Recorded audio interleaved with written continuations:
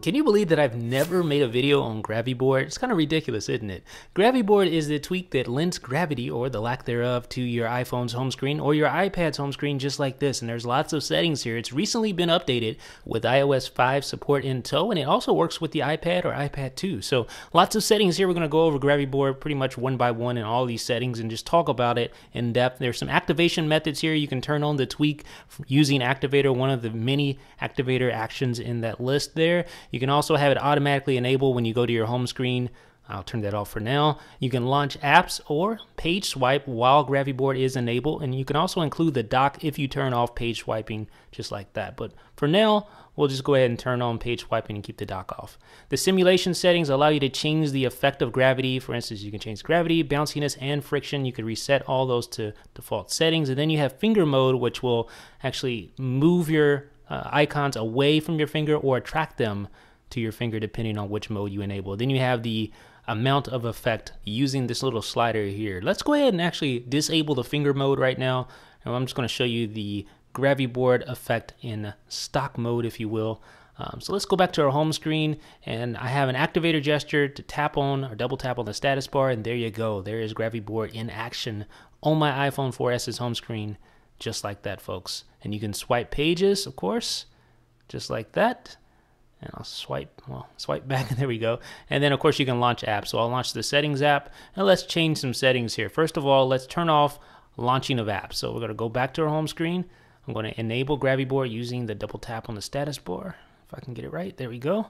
And you won't be able to launch apps because I disabled the launching of apps. So you can see launching of apps is disabled completely.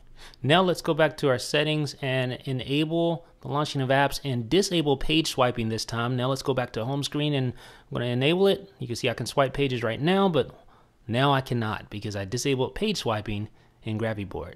Okay, so let's go back to settings again and turn off or enable page swiping. And then let's go ahead and change some of the simulation settings. Let's change up gravity. I call this popcorn mode for a good reason. You're going to see why here in a second. Back to the home screen.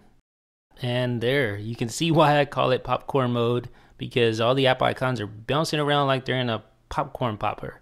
Let's go back to settings and let's reset the simulation defaults. And now we'll change, well, let's just turn everything down. Well, how about, hmm, turn bounciness down, turn gravity down, and keep friction up. All right, so let's try it now. All right, you can see nothing's moving because all the settings are down. But I can move the icons like that, but they're not really doing much. They're just kind of staying in place because everything's pretty much disabled except for friction. All right, let's reset these simulation defaults. And just keep in mind that you can change this however you want to change it. You can find your ideal setting and just keep that setting if you will. Now let's check out finger mode. Let's enable gravity well. That's going to actually attract uh, icons to my finger going to have automatically enable on as well so I don't have to use that activator action. And now watch all the app icons. They're all attracted to my finger, just like that. So I could just tap here or tap there, and you can see all the app icons just go directly to that portion of the screen. Now let's do the opposite. This is the anti-gravity. So can you guess what's going to happen here? Exactly. Anti-gravity, they're going to hate the finger. They don't want anything to do with it.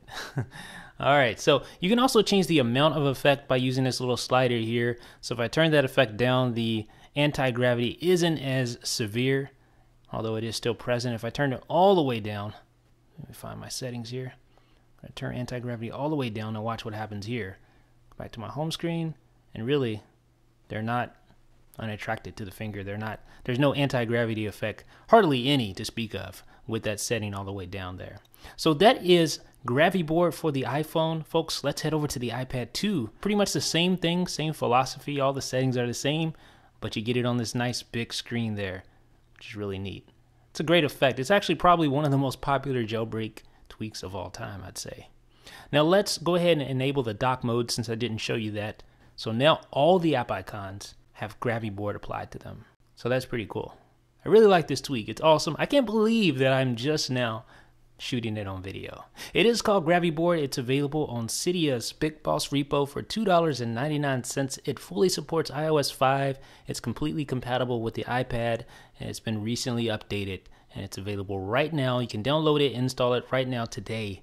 Let me know what you guys think about GraviBoard in the comment section, folks. This is a legendary tweak, and rightly so. It's pretty impressive the effect you get with all your app icons just going everywhere. Let me know what you guys think in the comment section. This is Jeff with iDownload Blog.